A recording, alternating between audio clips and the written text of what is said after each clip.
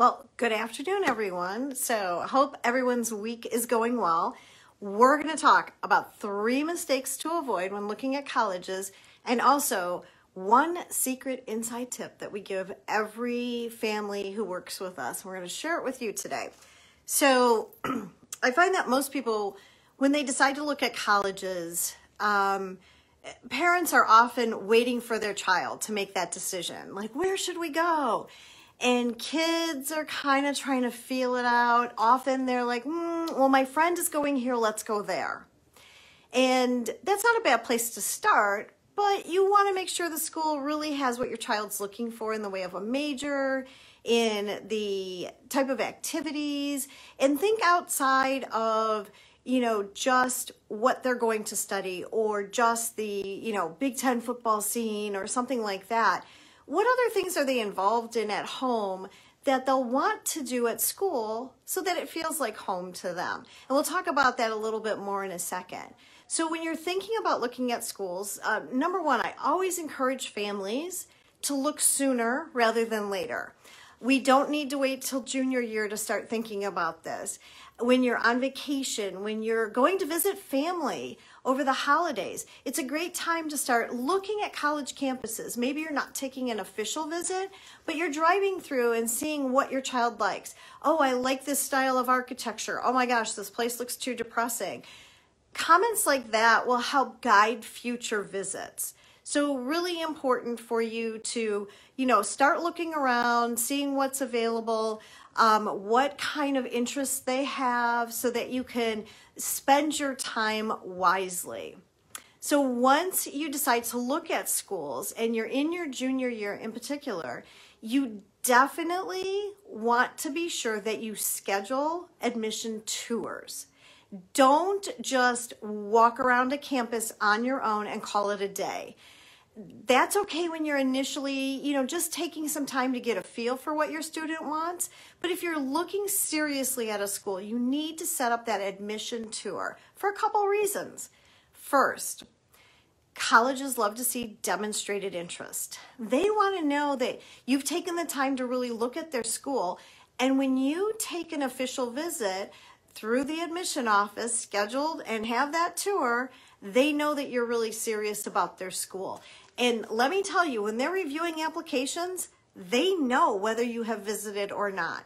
Now, during COVID, a lot of people couldn't visit, and that's when admissions got really creative and they set up admission visits via Zoom, where you weren't just watching the video tour that's on their website, but instead you were actually getting to sit in on a meeting and get questions answered. And that's really important to demonstrate that interest. So make sure you schedule a tour, an actual real tour, once you know that you're interested in looking at a school.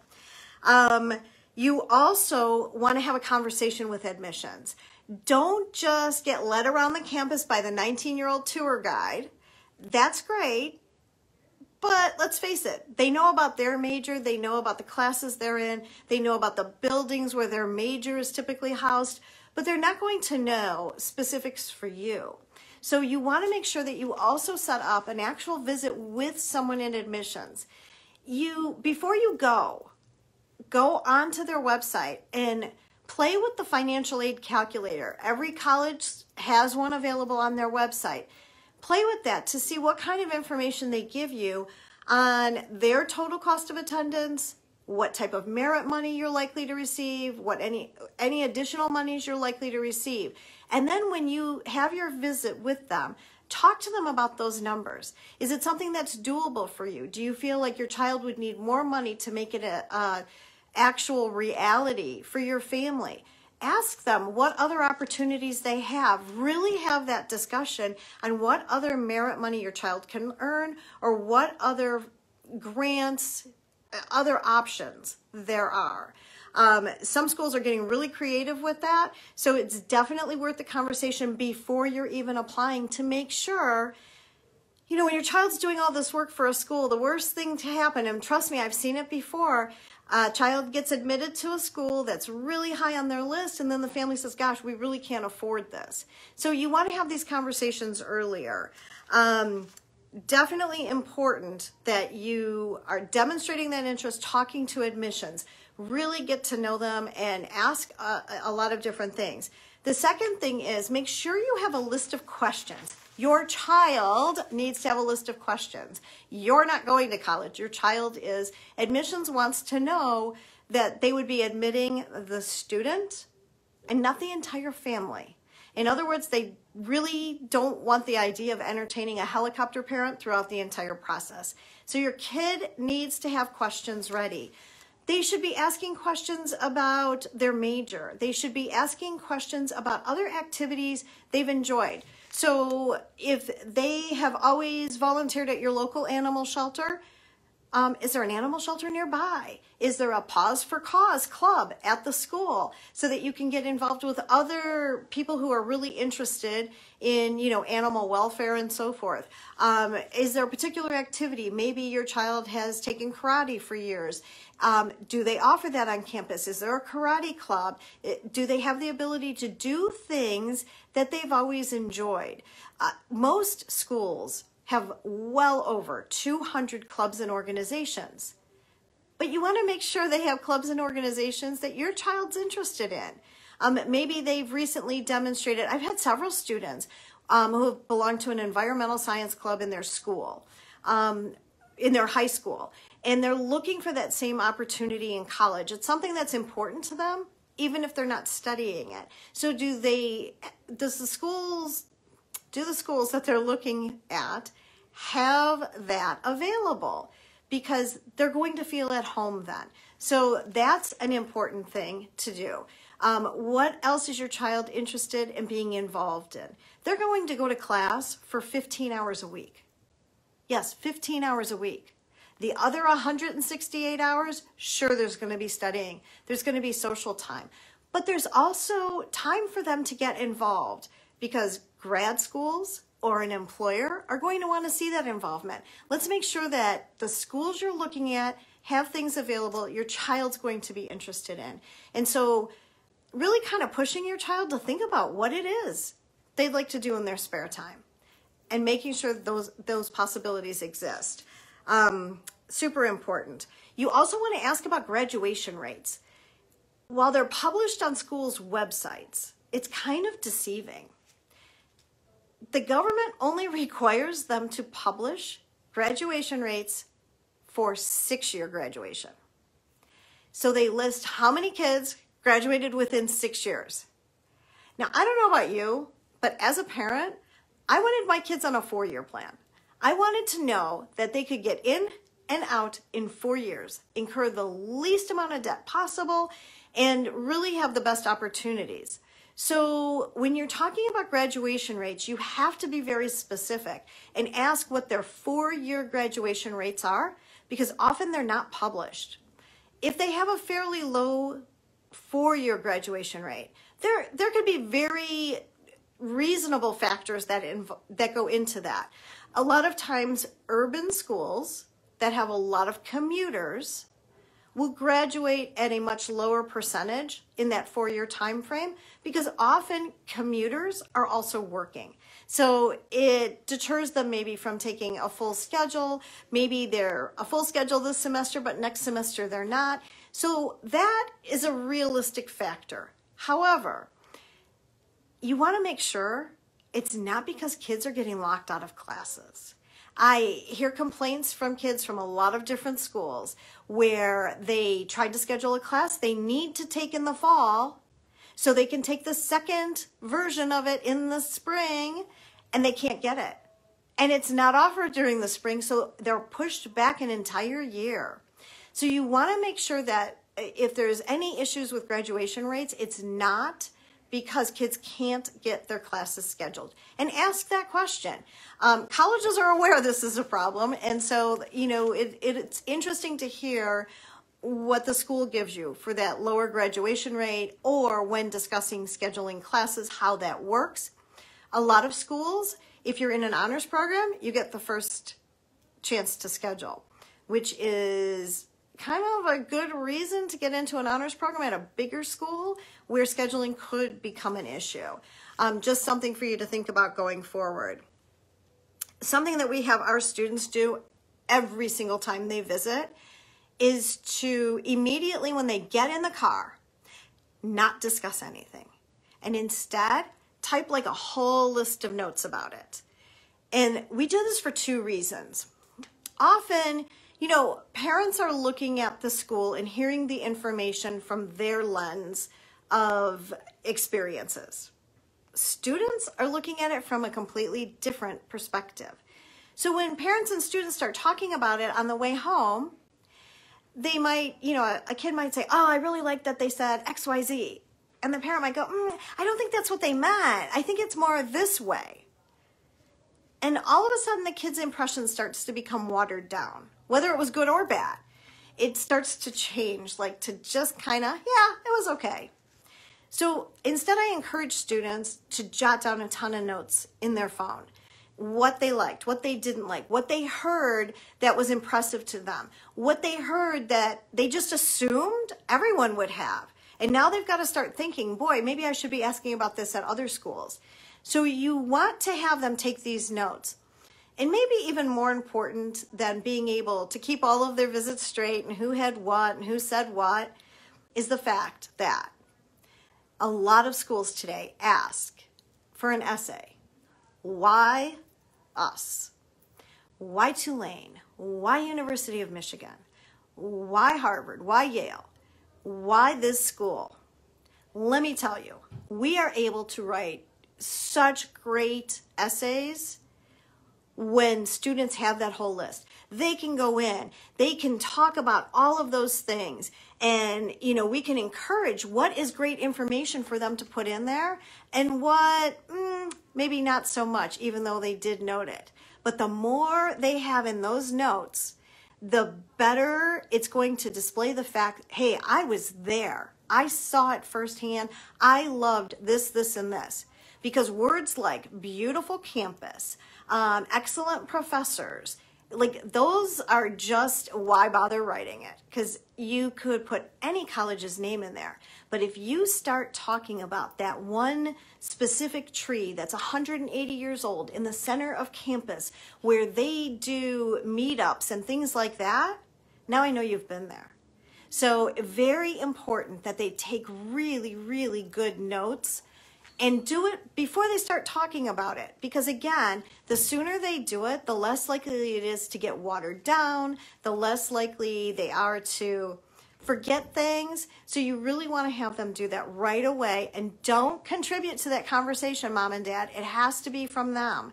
So just let them do their thing, okay?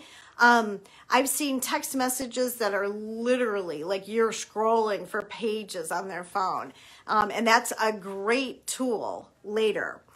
And then we promised you, and it, so those are the three things we really want to talk about. So, number one, don't just do unguided walk around on your own or visit a friend. You need to do official admission tours, all right? So that you have that demonstrated interest. Make an appointment to speak with admissions. Talk about the money piece. Talk about other questions. Find out about graduation rates. You want to make sure your child has questions written down. They want to come prepared. This is a big decision. Minimum $100,000 at most schools today for a four year degree. Your child needs to have an investment in this by thinking out some questions. What's important to them? What kind of activities do they want to participate in otherwise? And then the third point is always take notes when you leave so it doesn't get muddied up. If you if you take a three day trip and you look at six schools in three days, I guarantee two weeks later, you're unsure of, wait, which school was that? Oh, wait, what school did they say this? So make sure you're taking really good notes. So, in addition to those three things, we want to make sure the most important thing I can suggest, and this is a game changer for students, I can tell you 100%. Um, you want to make sure that you schedule a visit so you're going to contact admissions, you're going to schedule your tour, and then you're going to contact them again. And you're going to say, We really want to add a visit with the department chair for the biology department, the business college, whatever area your child plans to study in. You want to make sure you get that visit in. I'm going to give you a, a super great reason why this is so important, and it's uh, super specific When my son was thinking about college, he was planning pre med. My daughter had just gotten into vet school. And so she, you know, she had attended an undergrad, studied biology as a pre vet, and she got right into Ohio State vet school first try, which is kind of a big deal. So my son said, Well, I'll just go where she went. It was good enough to get her into Ohio State vet school. It'll be good enough to get me into med school. And I'm like, Ah, not the right school for you. Oh, what do you mean it's not the right school for me? It was good enough for her. It's, it should be good enough for me. And I said, You're two different kids. We got to find the right fit for you. So we looked at it, and I, I don't think he really felt any kind of bond with the head of the biology department, even though my daughter had loved her. Um, we went to another school and we did the tour first. And as we're walking around the campus, my son's like, oh my gosh, this is great. And, oh, mom, look at this. And oh, mom, did you hear this? And he's super excited. Like he would have signed on the dotted line after that tour. We had a great tour guide, makes a big difference. And then we met the head of biology, and his entire office was lined with plastic boxes. And inside the plastic boxes were bugs because he was an entomologist, which is part of biology, but not the part my son was interested in. So then we really drilled down. You know, how much money have you put in a cadaver lab? Mm, none. Do you hold MCAT prep classes? Mm, no. Do you have any contacts with local medical schools or even any medical schools? Mm, no. Not the right school for my kid. Because let's face it, college is just the vehicle to get you to that career. And if it's not going to get you there, it doesn't matter how much you love the campus, it's not the right place. So, super important to meet with that head of the department, and you'll be shocked. Your child will be shocked. From one school to another to another, their focus is, they can have the exact same names for the major. The focus can be completely different.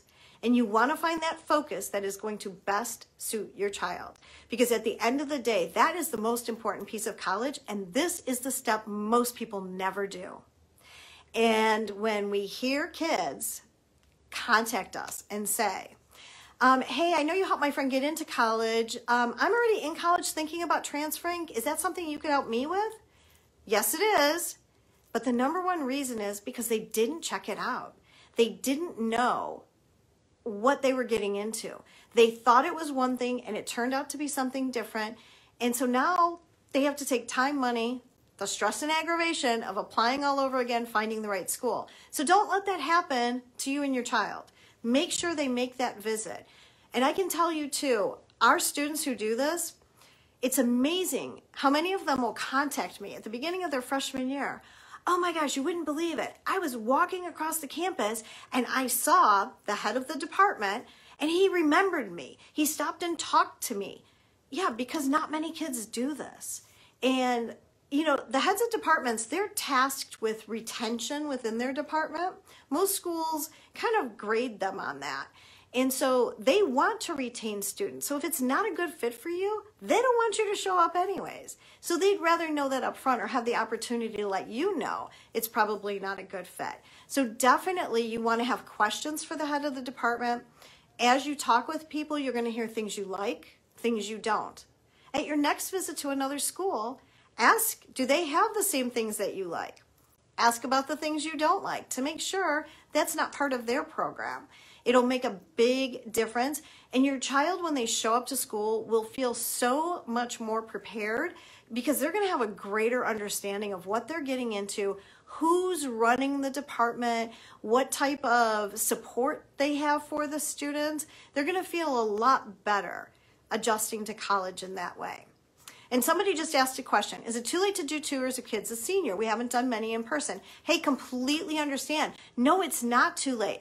Actually, I often recommend in February or March, when classes are fully in session, before you make your final decision, if you've got it narrowed down to two or three schools to which you've been accepted, by all means, schedule visits. Go and see those schools so that as you're making that final decision, again, you have that comfort level. I'm making the best choice.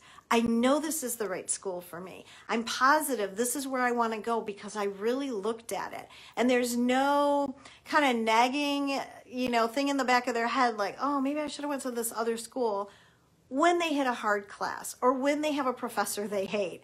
So, you know, taking all of those precautionary steps to make sure they're in the right place is really going to help them to be in the right place, but also you know, they're going to hit rough patches throughout college, but they're going to know they're still in the right place, even when a class is super difficult, a professor's just really not a good teacher, or, you know, whatever it is that they encounter. They'll really feel like, hey, this is just temporary. I know I'm in the right place. It's just a small little piece of it.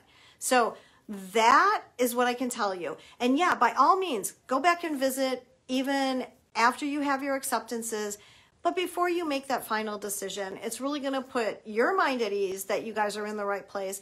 And it's really going to help your kid make that transition, knowing they're in the right place, they've met people, they know what to expect, they know what kind of support they'll have. So if you found this helpful and you just heard some things you didn't know that you should be doing, I really encourage you to schedule a consultation. Consultations are free. Schedule a consultation because what else are you missing? We're here to help. We want to help you get on the right track, make sure that your child has the best experience possible at the least expensive cost. So uh, feel free to drop a message down below if you'd like a link to schedule a consultation. And I look forward to talking to you all. And I hope that everybody got something out of this. Please put a thumbs up or a heart if you did get something out of this. I hope it was helpful. Talk to you guys soon. Have a great rest of your day.